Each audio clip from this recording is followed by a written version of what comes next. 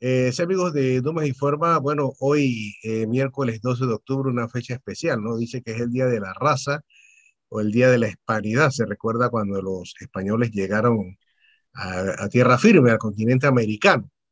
Vamos a conversar con Elibardo Benbache, él es cacique general de tierras eh, colectivas en Veragua, UNAM.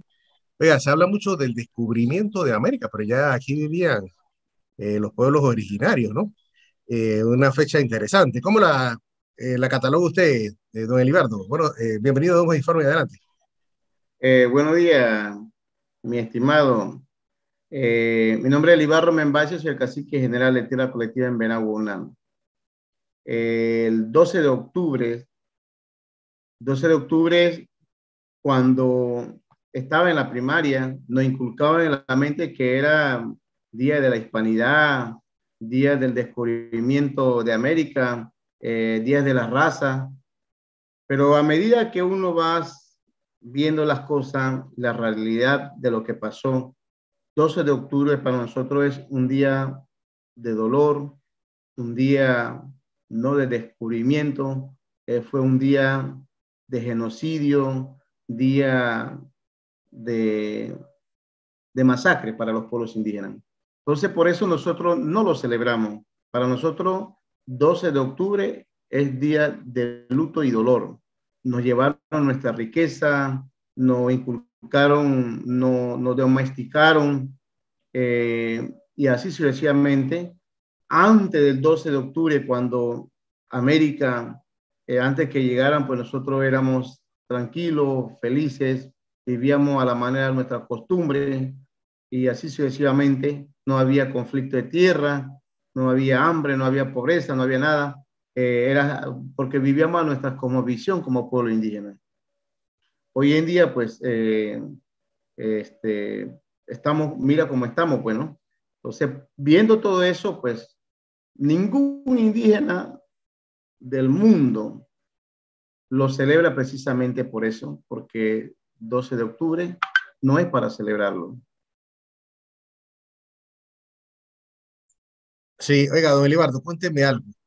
Eh, por lo menos los 12 de octubre allá en, la comunidad suya, ¿no? Eh, ¿Cómo la pasan? Por lo menos el día de hoy. Y, anteriormente, ¿no? Bueno, anteriormente, este, estamos hablando hace 20 años atrás, este, veíamos que 12 de octubre era eh, algo de que hay que celebrarlo, como que, o sea, incluso se hacían eh, honores, actividades, porque eso era lo que los educadores compartían a los estudiantes, porque eso era lo que aparecía en, en los textos, ¿verdad? Pero nunca en esos textos decían la verdad qué es lo que nos pasó a nosotros el día 12 de octubre. Hoy por hoy, este, nosotros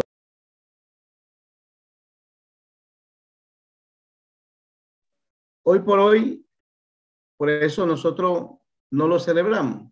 Hoy todos nosotros lo que hacemos fue un, día de reflexión, ¿verdad? Meditamos qué pasaría si, si ese día, si eh, si no hubieran venido los europeos a, nuestro continente, ¿cómo estuviéramos viviendo nosotros? ¿Verdad? Todo eso nos trae a reflexión, mi estimado doctor Eh, bueno, ya es un hecho cierto, ¿no? Se dio esta invasión de estos españoles a Panamá.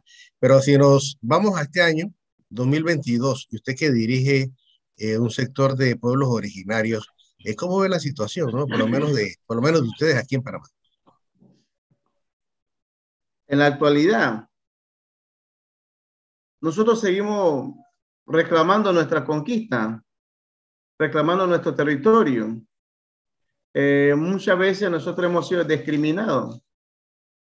No han querido reconocer nuestras necesidades, no han querido atender las prioridades como nosotros. Por ejemplo, nosotros queremos que el gobierno reconozca el, convenio 169 de la OIT.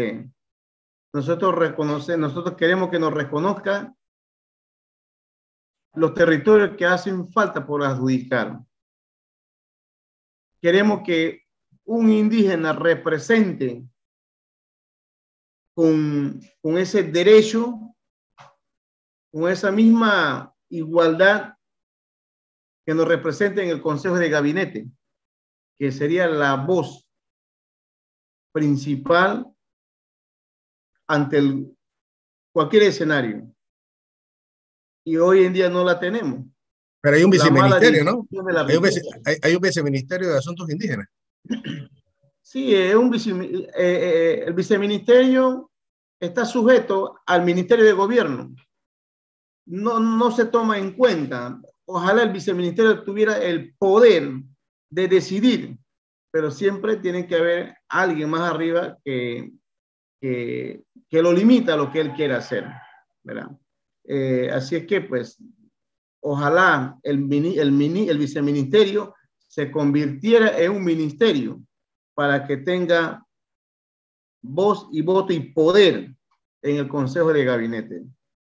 Pero lo que hemos podido analizar con todas las autoridades indígenas, los 12 pueblos en Panamá, lo hemos, hemos notado como que el viceministerio quisiera hacer, pero hay otro más arriba que no lo deja de hacer lo que él quiere hacer para su pueblo. Venga, muy interesante esto, a nivel de, por lo menos, de educación, de salud, pero dentro de las comarcas, ¿cómo andan ustedes? Bueno, en el caso de la comarca, eh, por ejemplo, eh, hay comarcas que están eh, invadidas, tenemos que sanearlas en tierras colectivas, están en territorios que llevan más de 10 años que se solicitaron, no se han dado prioridad. Ahora que se creó la comisión de alto nivel, se ha podido un poco agilizar, porque se pudo ver dónde estaba el nudo de que no se podía avanzar todos estos temas que hay eh, para los pueblos indígenas, sobre todo el caso de la titulación colectiva. Eh, así estamos, ¿verdad? Los programas y proyectos totalmente lentos. En algunas comarcas sí, en el caso, en otras comarcas no. Y así sucesivamente, pues, eh, está la cosa, ¿no? Ah, y a ver, ahora, ahora con la situación, pensábamos que el costo de la vida después de la, de la comisión de la, la comisión de alto nivel, eh, pensábamos que iba a mejorar. Sin embargo, todo se ha disparado, todo lo contrario, en vez de bajar. Y no solamente las comarcas, sino toda la población. A nivel, a nivel general, así es. Bueno, como no, muchas gracias, don Elibardo Membache.